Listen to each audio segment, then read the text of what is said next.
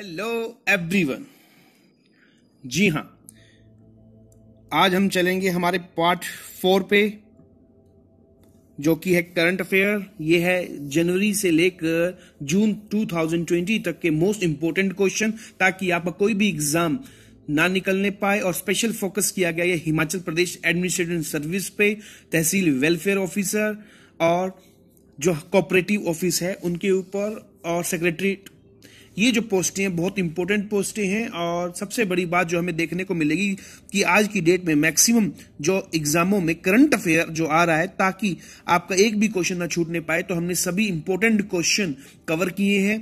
तो आज के हम चलते हैं अपने क्वेश्चन पर और इससे पहले आप प्लीज़ हमारे वीडियो को लाइक कीजिए शेयर कीजिए एंड सब्सक्राइब कीजिए। मेरा नाम है संदीप और आप देख रहे हैं स्टडी दर्पण 111 क्वेश्चन नासा ने हाल ही में जो हबल टेलीस्कोप है, उसका नाम बदलकर किस वैज्ञानिक के नाम पर रखा है? इसके ऑप्शन है first Ellen Stofan Nancy Grace Roman या Michael D Griffin James Hansen जो ये इसका आंसर है, वो बिल्कुल absolutely B B is the right answer इसका जो हमें टेलीस्कोप है इस साइंटिस्ट के नाम पर रखा गया है। अब हम चलेंगे 112 क्वेश्चन की ओर। Recently who became the first Indian to be awarded the UN military gender advocate award हाल ही में कौन UN military gender advocate award से सम्मानित होने वाली फ़र्स्ट इंडियन बनी है? जी हाँ इसका जो बिल्कुल राइट आंसर है, वो है option D Suman Gawani Suman Gawani is the right answer हमारा नेक्स्ट क्वेश्चन है, हाल ही में कौन फिक्की लेडीज़ ऑर्गेनाइजेशन एफएलओ की नई राष्ट्रीय अध्यक्ष नियुक्त की गई है? जी हाँ इसका जो बिल्कुल राइट आंसर है, वो है हमारा पास option D option D is the right answer Jahnavi Phukan. World thyroid day जो हम वर्ल्ड थायराइड डे है, वो हर वर्ष कब मनाया जाता है? जी हाँ वो मनाया जाता है आपका ट्वेंटी फिफ्थ मई। ट्वेंटी फिफ्थ मई को ये मनाया जाता है। जो थायराइड है, वो दो टाइप का होता है, एक हिप्पो और एक हाइपो तो हिप्पो में आदमी बहुत ज़्यादा मोटे होने लग जाता है और हाइपो के अंदर पतला होने लग जाता है। दोनों थायराइड बहुत ही खतरनाक बीमारी है और ये ज़्यादातर आपको फीमेल में देखने को मिलेगी।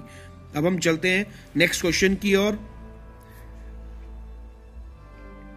विच स्टेट गवर्नमेंट किस राज्य की सरकार ने हाल ही में सबको रोज़गार मिलेगा नामक योजना का उद्घाटन किया? जी हाँ वो कौन सी स्टेट गवर्नमेंट है जिसने ये स्टार्ट किया? तो इसमें ऑप्शन सी एमपी मध्य प्रदेश जी हाँ Madhya Pradesh is the right answer recently who has become the first state in India to give sports industry status तो ये अपने आप में ही है। कौन खेलों का उद्योग का दर्जा देने वाला भारत का पहला राज्य बना है? तो ये हमारा नॉर्थ ईस्ट है। नॉर्थ ईस्ट स्टेट की बात की जाए तो इसमें आंसर होगा आपका D Mizoram. Mizoram is the right answer फिर चलते हैं हम नेक्स्ट क्वेश्चन की ओर 117 पे। किस राज्य की सरकार ने एम एस एम ई क्षेत्र को सहारा देने हेतु रिस्टार्ट नामक कार्यक्रम शुरू किया जी हाँ रिस्टार्ट की बात की जाए क्योंकि कोविड 19 के कारण आपको पता ही होगा कि बहुत जो एमएसएमई है, जो मिडल जो हमको ये सेक्टर देखने को मिल रहा है मीडियम मिडल मीडियम वाला, इसके अंदर बहुत ही ज़्यादा हमको डेफिसिट देखने को मिला ड्यूरिंग द जो कोविड 19 हमें जो डिज़ीज़ देखने को मिली तो इसके अंदर जो रिस्टार्ट हमें देखने को मिला, कौन से स्टेट ने अभी हाल ही में लॉन्च किया है तो इसका आंसर आएगा C Andhra Pradesh. Andhra Pradesh is the right answer world turtle day जी हाँ वर्ल्ड टर्टल डे की बात करूँ, विश्व कछुआ दिवस, ये हर साल कब मनाया जाता है? ये मनाया जाता है ट्वेंटी थर्ड मई। तो इसमें आंसर आ जाएगा option A option A is the right answer next जो क्वेश्चन है, हाल ही में जो खिलाड़ी बलबीर सिंह सीनियर है, उनका निधन हो गया। ये बहुत इंपॉर्टेंट है, क्योंकि बहुत ही ज़्यादा ये बूढ़े हो गए थे और वह किस खेल से संबंधित थे? तो ये थे हॉकी से। और इन्होंने इसके अंदर ओलंपिक भी हासिल किया था। बहुत ही अच्छे खिलाड़ी थे और बहुत ज़्यादा मतलब ये एज हो चुकी थी इनकी तो तब डेथ हुई है नेचुरल डेथ हुई इनकी। अब चलते हैं हम आगे वन ट्वेंटी क्वेश्चंस पे। किस भारतीय मूल के व्यक्ति को हाल ही में वर्ल्ड बैंक में जलवायु परिवर्तन और आपदा प्रबंधन की जिम्मेवारी सौंपी गई है? जी हाँ तो इसका जो आंसर आएगा ऑप्शन बी ऑप्शन बी ये इंडियन है, जिन्हें अभी अभी वर्ल्ड बैंक के अंदर जिम्मेवारी सौंपी गई है जलवायु क्लाइमेट चेंज के ऊपर और डिजास्टर मैनेजमेंट पे। तो आभास जा। Option B is the right answer international tea day अगर अंतर्राष्ट्रीय चाय दिवस की बात की जाए तो हर वर्ष का मनाया तो चाय वो अंग्रेज़ों ने ही स्टार्ट की, जैसे पता होगा। लेकिन हर साल ही कब मनाया जाता है और किस तरीके से पूरी इंडिया में आज की डेट में इसको कंज्यूम किया जाता है। तो इसका जो राइट आंसर है, वो है ऑप्शन ए ऑन इक्कीस मई twenty first May is a right answer RBI ने हाल ही में रेपो रेट में कितने परसेंट की कटौती करने की घोषणा की है? थोड़ा थोड़ा टाइम बाद चेंज होता रहता है और पॉइंटों में ही इसका, लेकिन इस बार कुछ से ज़्यादा रेपो रेट में कमी की गई है। तो इसका जो बिल्कुल सही जवाब है, वो है option B zero point forty percent zero point forty percent is a right answer अब चलते हैं हम अपने नेक्स्ट क्वेश्चन की और ये जो क्वेश्चन है कि recently who has been appointed as the new chairman of NABARD. तो इसमें जो हमारा बिल्कुल सही जवाब है, वो है गोविंद राजुलू चिंटला। जी हाँ option C is the right answer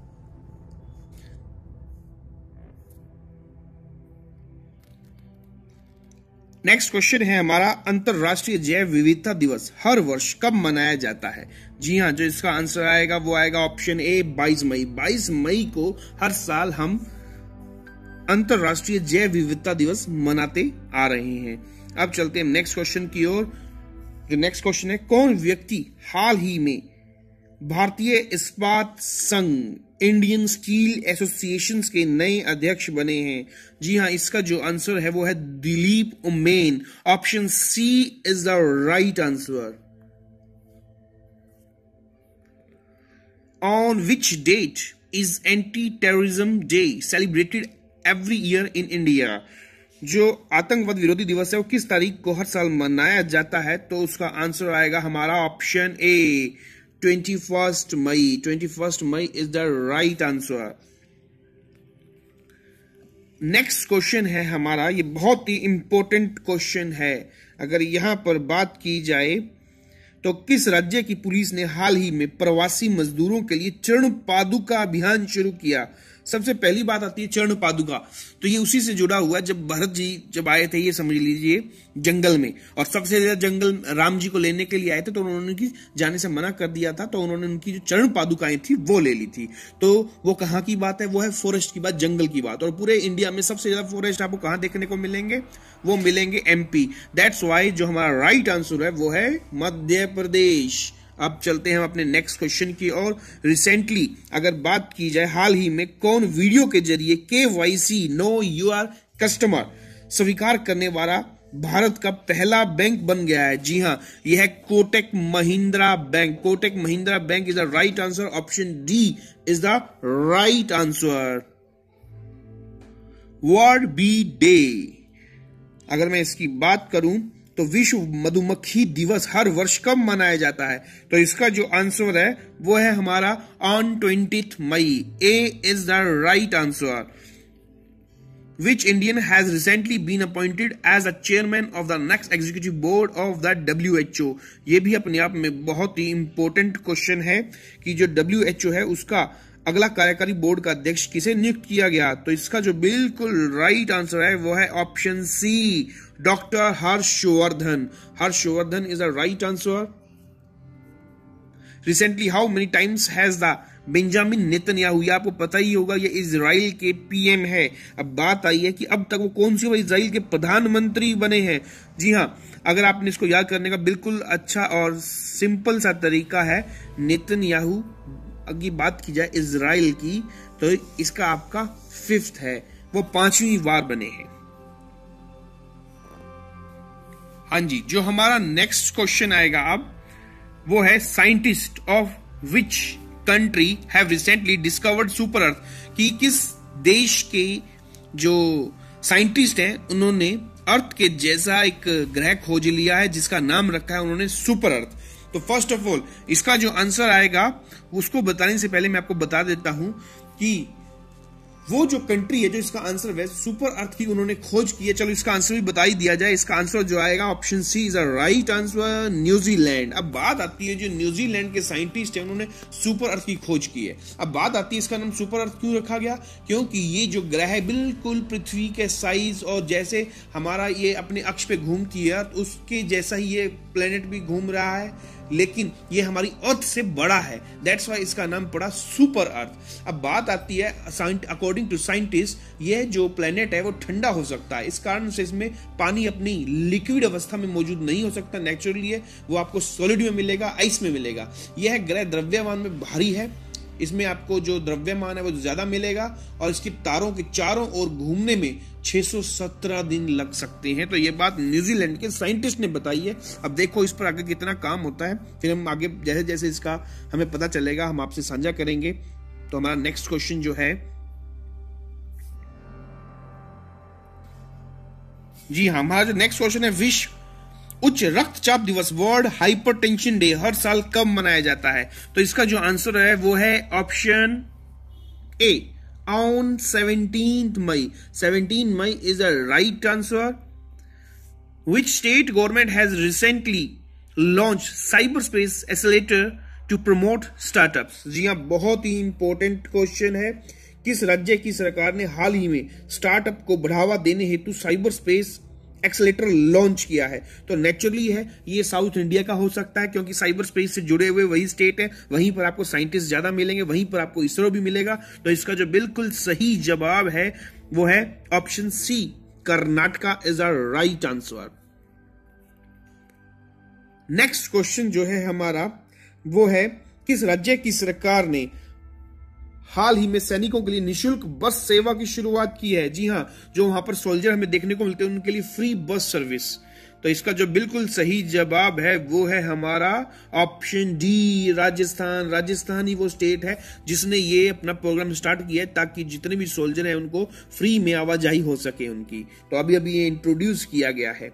अब चलते हैं हम अपने नेक्स्ट क्वेश्चन पे, और नेक्स्ट क्वेश्चन में जाने से पहले हम आपको बता दें कि तहसील वेलफेयर ऑफिसर जो हिमाचल में तहसील वेलफेयर ऑफिसर है, जो कि अक्टूबर में होना है, और सबसे बड़ी बात कि जो कोऑपरेटिव जो कोऑपरेटिव एग्ज़ाम है हिमाचल कोऑपरेटिव बैंक का, इसके अंदर जो भी सिलेबस है, उसके लिए भी हम धीरे धीरे अब आपके आगे वीडियो लाएँगे ताकि मैक्सिमम बच्चों का जो भी हार्डवर्क कर रहे हैं, वो उनको हम स्मार्ट वर्क करवा सकें और वो अपनी अचीवमेंट को जल्दी से जल्दी एज सुन एज पॉसिबल आप उसको अचीव कर सकें। और हिमाचल एडमिनिस्ट्रेटिव सर्विसेज़ के लिए भी हम स्पेशल कोर्स लेकर आ रहे हैं, जिसमें Himachal is the main part अगर मैं बात करूँ हिमाचल के जितने भी एग्ज़ाम है, उसमें जो हिमाचल है, उसका बहुत ज़्यादा क्वेश्चन आता है, उसका जो रेशियो होगा, वो बहुत क्रूशियल होता है। अब उसके लिए हम स्पेशल उसके लिए क्वेश्चन ला रहे हैं तो आपके लिए बहुत यूजफुल होंगे। अब चलते हैं हम अपने नेक्स्ट क्वेश्चन की ओर। International day of light is celebrated जी हाँ, अगर बात की जाए अंतरराष्ट्रीय प्रकाश दिवस की, वो हर वर्ष कब मनाया जाता है? वो मनाया जाता है every year option A on sixteen May 16 May is the right answer international museum day जी हाँ यहाँ पर बात की जाए, अंतरराष्ट्रीय संग्रहालय दिवस हर वर्ष कब मनाया जाता है? तो ये है option A eighteen May is the right answer तो आपको कोई भी क्वेश्चन में डाउट क्वेरी हो तो आप ज़रूर कमेंट कीजिए और लाइक ज़रूर कीजिए ताकि हमें पता चल सके कि आपको हमारे वीडियो कैसे लग रहे हैं। नेक्स्ट जो क्वेश्चन है हमारा, किस राज्य की सरकार ने हाल ही में राजीव गांधी किसान न्याय योजना शुरू की है? नेचुरली अगर इसकी बात की जाए तो राजीव गांधी ये कांग्रेस वाले ही स्टेट कर सकते हैं। पंजाब में भी आपको गवर्नमेंट मिलेगी, राजस्थान में मिलेगी, इस साइड भी मिलेगी। लेकिन इसका जो बिल्कुल रियल आंसर है, राजीव गांधी किसान न्याय स्कीम तो ये आपको मिलेगी Chhattisgarh. That's why answer is the C आज का हमारा सेकंड लास्ट क्वेश्चन है। Recently which what telecom day अगर बात की जाए सत्रह मई 2020 को, दुनिया भर में कौन सा विश्व दूर संचार दिवस मनाया जाता है? तो इसका जो आंसर आएगा, वो आएगा फिफ्टी फ़र्स्ट जी हाँ, इक्यावन. आज का last and final question international family day is celebrated every year अगर इसकी बात की जाए तो अंतरराष्ट्रीय परिवार दिवस हर वर्ष कब मनाया जाता है? ये मनाया जाता है हमारा फिफ्टींथ मई को। तो इसका जो आंसर आएगा, वो आएगा ऑप्शन ए पंद्रह मई इज़ द राइट आंसर अगर इसकी बात की जाए पंद्रह मई की तो अंतर्राष्ट्रीय परिवार दिवस के रूप में मनाया जाता है। और ये हम कब से स्टार्ट कर रहे हैं? ये सबसे पहली बार जो मनाएगा 1996 में। ये 1996 को मनाया गया था फ़र्स्ट टाइम और इसकी उस टाइम थीम क्या थी? इसकी थीम थी गरीबी और बेघरता। ये थीम थी इसकी। और 1996 के बाद इंटरनेशनल जो फैमिली डे है, एक खास थीम के ज़रिए मनाया जाता है। अब बात आती है 2020 की थीम क्या है? तो इस साल इसकी जो थीम है वो है परिवार और जलवायु संबंध। तो ये इसकी थीम है। तो आपको ये वीडियो कैसा लगा? प्लीज़ कमेंट कीजिए लाइक कीजिए शेयर और सब्सक्राइब कीजिए। मिलते हैं हम अपने नेक्स्ट वीडियो में।